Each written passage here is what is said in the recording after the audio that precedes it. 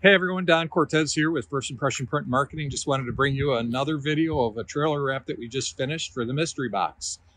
This Russell's and Stephanie's uh, new company that they're going to be uh, bringing around Livingston County and other areas. And as you can see, we've wrapped this trailer.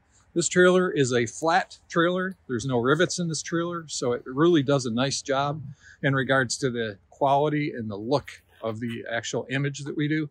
And with all of our stuff, we take off the lights and all the trim and everything. We'll do our lamination of the material and uh, get it on there so it uh, it does look really, really nice. These colors are awesome that they picked.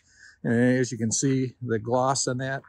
Uh, we use a 3M material with a 3M lamination. We also have 3M uh, uh, certified installers, so make sure that the job is really good.